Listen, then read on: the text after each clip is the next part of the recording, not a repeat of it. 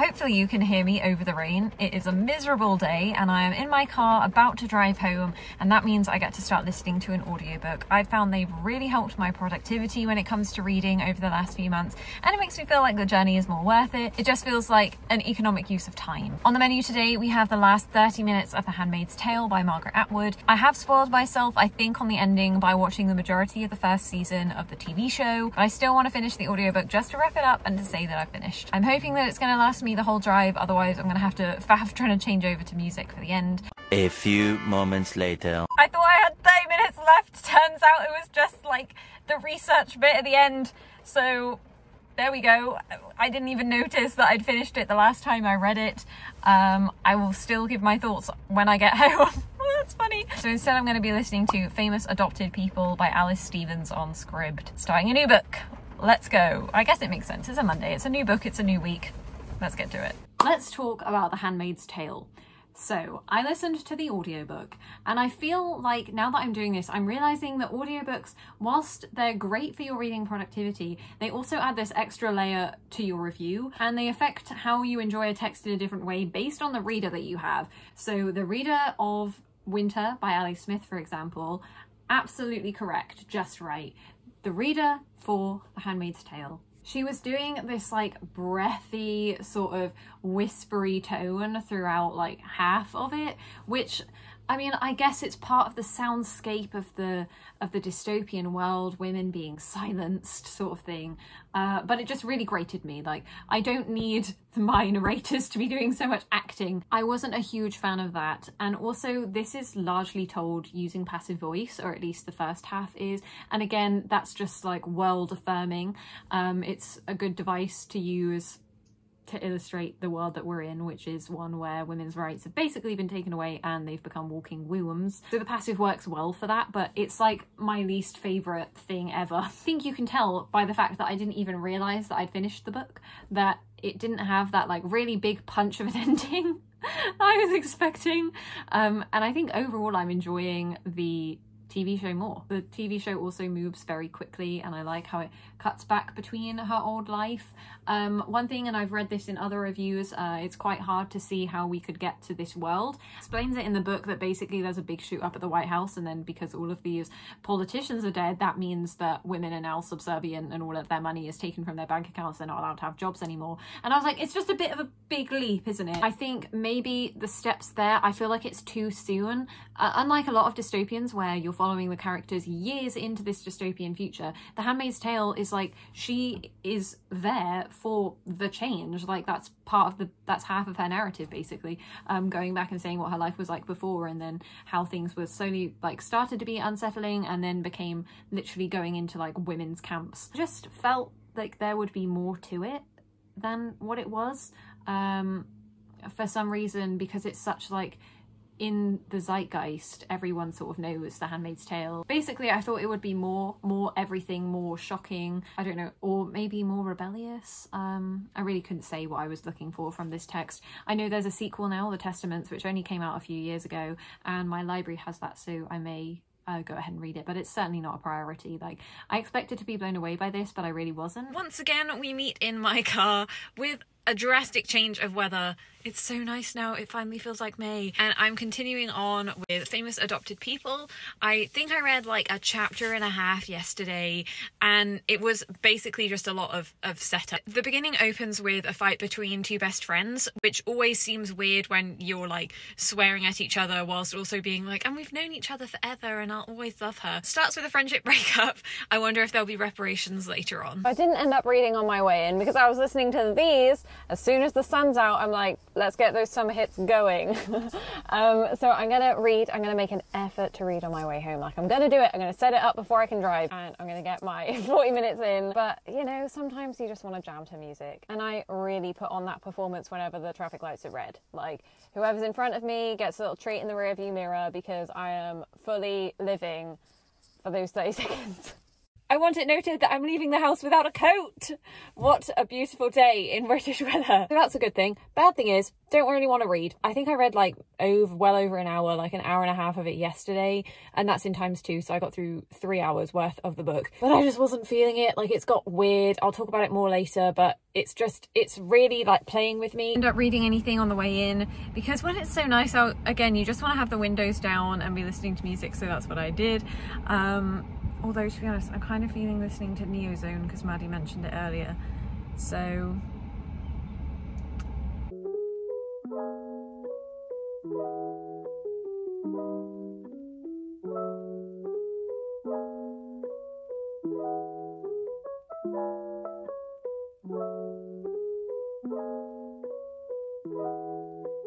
Thank you.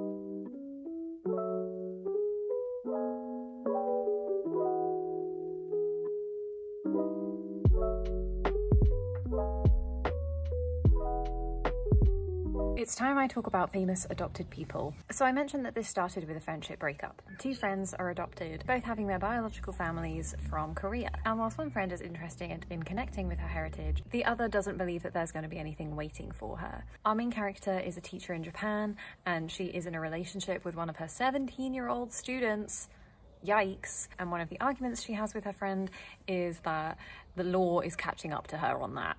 Ugh. Her friend wants her to use this agency where they can find out about your birth parents. So she goes along with this and it turns out that they have no records of her birth mother, which she thinks is suspicious.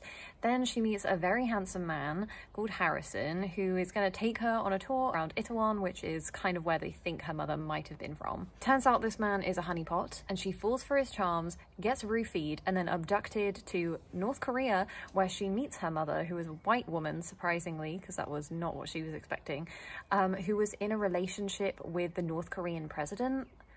I, I think that's what happened. Yeah, it's as crazy as that. We follow her for the rest of the book in captivity with Honey's menagerie of strange people who have all had some elaborate plastic surgery. There's a scene where main character is forced to have plastic surgery um, that was horrific. A forced nose job in excruciating detail. Then it kind of gets like a prison break vibe where she's trying to escape and uh, bargain items on the outside for money. Just so odd and not what I was expecting at all. If you go on the Goodreads, all you can see is people saying, this was a wild ride. And I have to agree. I feel like when you don't have much to say, the best is potentially to say nothing at all and that's where I fall in this book. It has a nice narrative where the main character is a writer and she wants to write about her experiences as an adoptee so she creates a website and that is one of the ways she's able to escape her captivity. So within the book there is this narrative about stories of adoptees and how often it's not told from their perspective.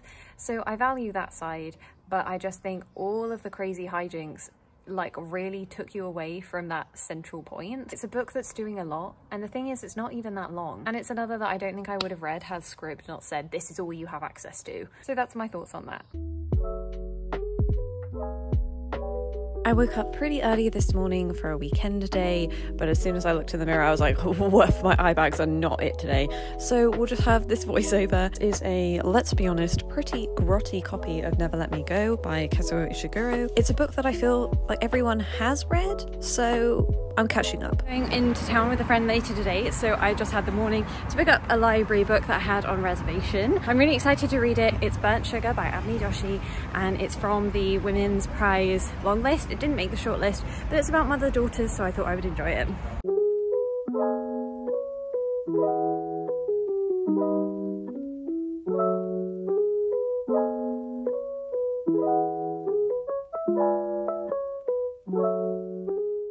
Just in the car park now, but here is the book. So it was a reservations free for all. Like they'd split the self-service systems into one for taking out and one for returning. And then next to the one for taking out was just the reservation shelf and you just picked it up yourself. I was kind of worried that it wasn't going to be there because this is like the last day I have to collect it, but it was. So I can't wait to read this. and it answers my cry for purple adult books. if I like it, this is so pretty, I'd want it in my collection. This is the story of a mother-daughter relationship turned twisted. The back literally says, sometimes I refer to Ma in the past tense even though she is still alive. I'm grieving, but it's too early to burn the body. And as soon as I read that, I was like, yeah, I definitely want to read this. Tara is the mother and she was sort of a wild, reckless spirit when she was younger. And her daughter was kind of on the ride for the whims of her life. And I think she resented her for probably the unconventional childhood that she had. And now in their adult relationship, the daughter is is having to care for her mother, harboring these feelings of resentment, jealousy, knowing that her mother doesn't remember her childhood the same way that she does.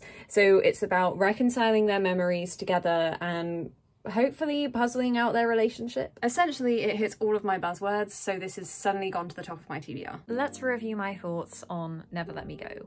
To talk about this book is to spoil it. The premise is the plot and vice versa, so if you don't want to hear anything about it, then maybe skip this section. We follow three children at Hailsham, a boarding school, and it's a coming of age of the tangling relationships between them, the jealousy, the toxicity, but also the comfort and home that they bring each other in this strange place. And as they get older, we slowly come to realize that they're clones created solely for the purpose of organ donating. I really enjoyed how this revelation creeps up on you throughout the book, and it's not given with any sense of impending doom, which is a truly unnerving sense of disconnect. Despite the concept being essentially bodily horror, it's very serene. The whole thing is sort of swathed in this like memory haze that makes it seem nicer than it is. When the characters move into a care facility, they hear rumours about deferrals of if you're in love,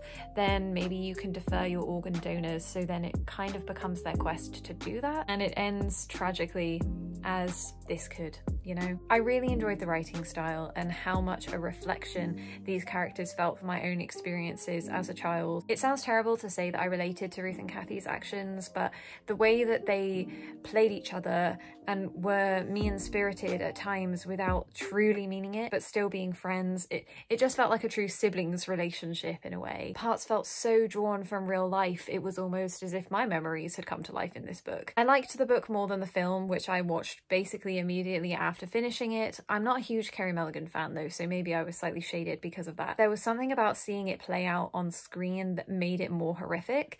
I came away just feeling so much more unsettled than reading the book, even though it's the same story and it is a faithful adaptation. It just simplifies it. And they make Tommy, who's, I guess, the top of the love triangle um more like you want to swaddle him if that makes sense i think this is naturally one of those stories that is hard to forget. So I can see why it's a text now on curriculums to study. And whilst I appreciated what it was doing and how unique the story was, maybe there wasn't anything too shocking. I can see where the criticisms of it being boring come from. Overall, I'm giving it just a middling rating.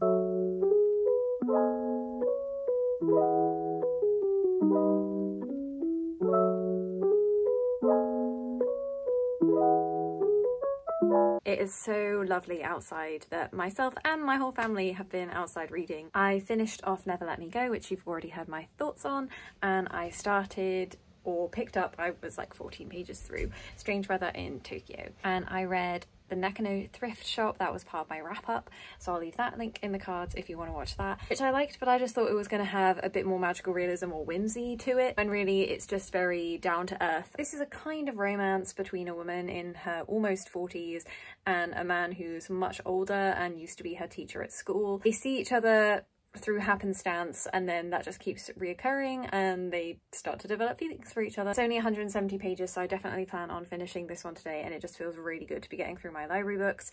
After I'm done with this I plan to read An American Marriage and then I can finally get to Burnt Sugar that I picked up earlier this week. So I finished Strange Weather in Tokyo, and again, I don't think I liked it as much as I wanted to. Maybe it's the dynamic of a romance being the central plotline that just doesn't interest me as much, but I found I liked this less than the Nakano thrift shop, just because the surrounding characters weren't as interesting to me. I suppose with such a short book it makes sense that it focuses mainly on Tsukiko and Sensei. I'd say their relationship gets more developed once they've gone on the trip together, but it's so unassuming and quiet and you're never like, are they dating or not? And spoiler alert, it ends very quickly with him dying and then his son being like, You made him happy in the end there. The most interesting bit to me was the conversations she actually had with an old school friend who also had a bit of a crush on one of his female teachers, but then tried to pursue a relationship with Tsukiko. Overall, it just wasn't really my thing.